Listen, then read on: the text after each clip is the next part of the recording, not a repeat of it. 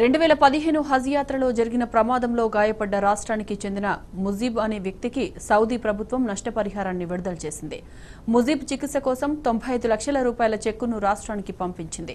ఆ చెక్కును హోంమంత్రి మహమూద్ అలీ ముజీబ్ కుటుంబానికి అందజేశారు. సీఎం కేసీఆర్ చొరవతోనే బాధితుడికి సాయం అందిందన్నారు హోంమంత్రి తెలంగాణ వచ్చే తర్వాత టూ థౌజండ్ ఫిఫ్టీన్లో హజ్ యాత్రకు పోయిన ముజీబ్ గారు అని అక్కడ కొంచెం ఇన్సిడెంట్ జరిగింది. ఆ మక్కాలో కన్స్ట్రక్షన్ జరిగేప్పుడు ఒక కిరణ్ ఉంది. పడిపోయి తర్వాత ఈయన ఇంజర్డ్ అయినా. ఇంజర్డ్ అయిన తర్వాత ట్రీట్మెంట్ అయిన తర్వాత రిటర్న్ వచ్చిన. వచ్చే తర్వాత మా ఆనబుల్ సీఎం గారికి ఇన్ఫర్మేషన్ వచ్చింది. ఆయన ఇంజర్డ్ అయినా అంటే ఆయన పిలిచి నాకు మసిల్లా గారికి ఇద్దరికి ఇన్స్ట్రక్షన్ ఇచ్చారు. ఫస్ట్ టైం మా తెలంగాణ స్టేట్లో అంటే అదర్ స్టేట్లో ఇండియా ఎక్కడ రాలేదు. ఆ సౌదీ గవర్నమెంట్ అంటే ఆయన ద్వారా లెటర్ రాశారు.